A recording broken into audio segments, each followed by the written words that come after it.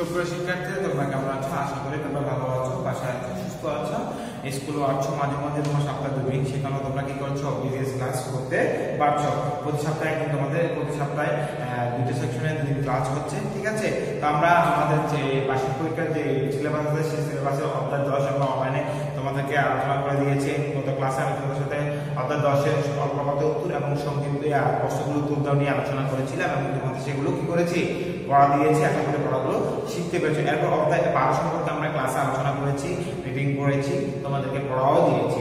আজকে আমি তোমাদের সাথে আলোচনা করব তোমাদের স্কুল কর্তৃক যে বার্ষিক পরীক্ষার যে পাঠ পরিকল্পনা দেওয়া হয়েছে, সেই পাঠ পরিকল্পনা থেকে অযোগ্যতা ভিত্তিক সংক্ষিপ্ত প্রশ্নোত্তর ক থেকে পরিবর্তন সম্পর্কে আলোচনা করবে এবং সেগুলো তোমরা কি করবে? শিখবে। বুঝতে পেরেছ?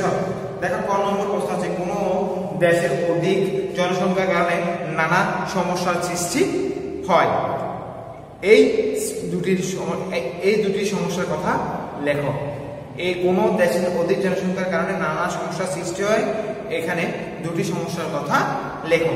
তো অধিক জনসংখ্যার কারণে সৃষ্টি দুটি সমস্যা হলো, ময়লা আবর্জনা বেশি হয় বাসস্থানের সমস্যা। অর্থ হচ্ছে, অধিক জনসংখ্যা যখন বৃদ্ধি পায় তখন কি হয়? নির্দিষ্ট স্থানে ময়লা ফেলা হয় না। যেখানে সেখানে ময়লা ফেলা হয়, যার ফলে ময়লা আবর্জনা বেশি হয় এবং বাসস্থানে কি হয়?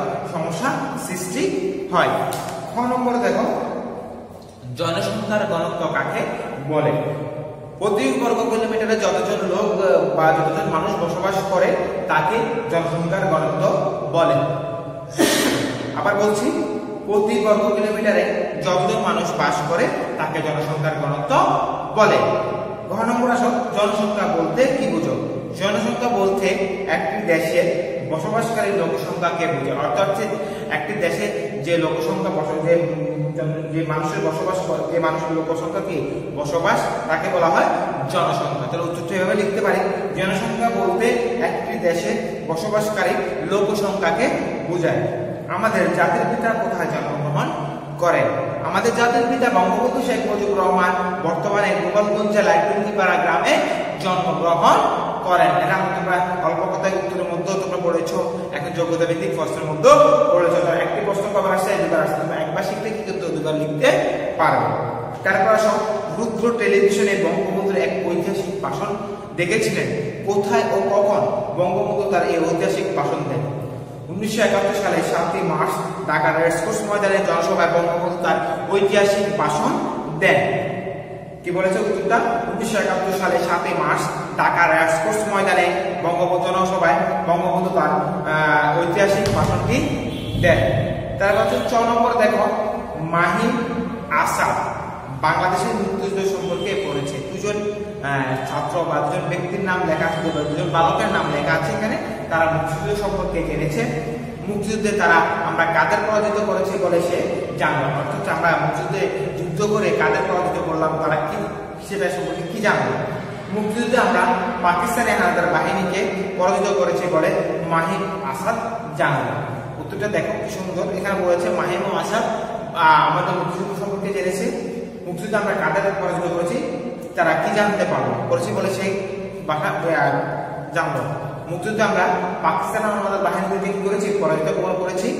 বলে মাহিম ও আসাদ কি করে জানলো? তারপর প্রশ্ন ছ নম্বর, বঙ্গবন্ধু ঢাকা বিশ্ববিদ্যালয়ের ছাত্র ছিলেন। বঙ্গবন্ধু কোন বিশ্ববিদ্যালয়ের ছাত্র ছিলেন? ঢাকা বিশ্ববিদ্যালয়ের ছাত্র ছিলেন। এই বিদ্যালয় বিশ্ববিদ্যালয়ে তিনি কোন বিষয়ে ভর্তি হয়েছিলেন? বঙ্গবন্ধু ঢাকা বিশ্ববিদ্যালয়ের ছাত্র হয়েছিলেন, আমরা কি আমরা ডিবিকে জানতে পেরেছি। এবং তিনি কোন বিশ্ববিদ্যালয়ে কোন বিষয়ে ভর্তি হয়েছেন? তিনি আইন বিষয়ে ভর্তি হয়েছে তো উত্তরটা হবে ঢাকা বিশ্ববিদ্যালয়। বঙ্গবন্ধু আইন বিষয়ে কি হয়েছে? ভর্তি হয়েছে। তোমরা রিডিং থেকে উত্তরটা বের করতে পারবে। অর্থাৎ তোমাদের যে পাঠ পরিকল্পনা আছে, সেখানে দেওয়া আছে। ঢাকা বিশ্ববিদ্যালয়ে বঙ্গবন্ধু আইন বিষয়ে কি হয়েছিলেন ভর্তি হয়েছিলেন তারপর আসো, পৃষ্ঠা নম্বর তারপর আসো, পরের পেজে বর্গের যোগ প্রশ্নটা দেখো। আমরা প্রতি বছর পনেরোই আগস্ট শোক দিবস পালন করি। এই দিনে কি হয়েছে? অর্থ হচ্ছে, তোমরা জানো প্রতি বছর আমরা পনেরোই আগস্ট একটা শোক দিবস পালন করি স্কুলে পালন করে সব জায়গায় করা হয়? পালন করা হয়। এই দিনটা হচ্ছে বঙ্গবন্ধু শেখ মুজিবুর রহমানের মৃত্যু দিবস, অর্থাৎ হচ্ছে উনিশশো বাহাত্তর উনিশশো পঁচাত্তর সালে পঁচিশ পনেরোই আগস্ট কৃষি স্বতন্ত্রকারী ও এদেশের শত্রুর হাতে কি হয়েছে? বঙ্গবন্ধু সহপরিবার বয়ে নিয়ে নিহত হয়েছিল। সব বঙ্গবন্ধুকে মেরে ফেলা হয়েছে? যার ফলে আমরা পনেরোই আগস্ট কি করে শোক দিবস, জাতীয় শোক দিবস হিসেবে পালন করি। তো তোমার প্রশ্ন হচ্ছে, আমরা প্রতি বছর পনেরোই আগস্ট পালন করি এদিন কি হয়েছিল? উত্তরটা তোমরা তোমাদের পাঠ্য বই থেকে বের করতে পারবে, অথবা তোমাদের যে পাঠ পরিকল্পনা আছে সেখানে দেওয়া আছে। উনিশশো পঁচাত্তর সালে পনেরোই আগস্ট এক দল ষড়যন্ত্রকারী ও দেশের শত্রুদের হাতে বঙ্গবন্ধু ও সহপরিবার নিয়ে কি হয়? শহীদ হয়েছিল। যার ফলে আমরা কি করি? পনেরোই আগস্ট জাতীয় শোক দিবস পালন করি। আশা করি তোমাদের সাথে যে প্রশ্নগুলো, যে যোগ্যতা ভিত্তিক সমস্ত প্রশ্নগুলো নিয়ে আলোচনা করেছি, প্রশ্নগুলো তোমরা বুঝতে পেরেছ। তারপরে কোনো ধরনের সমস্যা হলে হোয়াটসঅ্যাপ আকারে হোয়াটসঅ্যাপে করবে, আমাকে জানাবে। এছাড়া স্কুলে যখন ক্লাস থাকবে, তখন আমাকে বলতে পারবে। সবাই ধন্যবাদ, সবাই ভালো থাকবে সুস্থ থাকবে আল্লাহ হাফেজ।